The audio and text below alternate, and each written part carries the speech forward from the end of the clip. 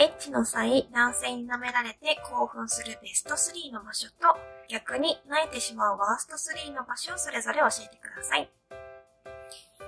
えー、っと、私は基本的に舐められるのが大好きなので、舐めて欲しくない場所はあんまりないです。全部嬉しいです。欲しいっていうなら、そうですね。苦手なのは、背中とか、あと、おへその周りは、ちょっとくすぐったいから、あまり得意ではないですかね。あとは、顔？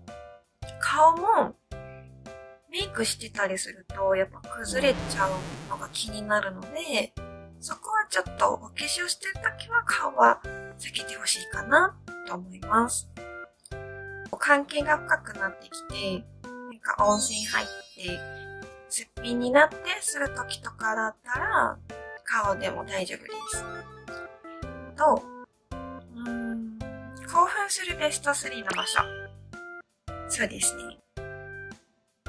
なんか普通のとこ、おっぱいとか、あそことかは、もちろん気持ちいいし好きなんですけど、あんまりしてくれる人がいないけど、してもらえるとすごく嬉しいなって思うのは、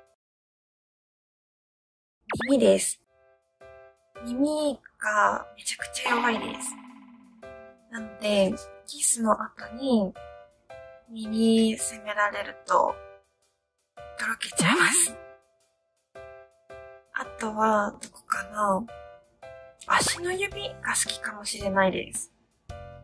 これは一人だけ足の指舐めてくれた人がいたんですけど、え、そんなとこ舐めるの？ってすごいびっくりしたんですけど、実際舐められたら、すごい気持ちよくて、えー、なんでこんなとこ舐められて気持ちいいんだろう？って思ったのがすごい意外でびっくりしたんですけど、すごく良かったです。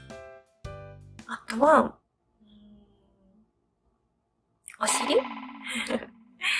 お尻は、すごい恥ずかしいんですけど、証拠は M なので、なんか、恥ずかしいところ見られてるって思うと、すごく燃えちゃいます。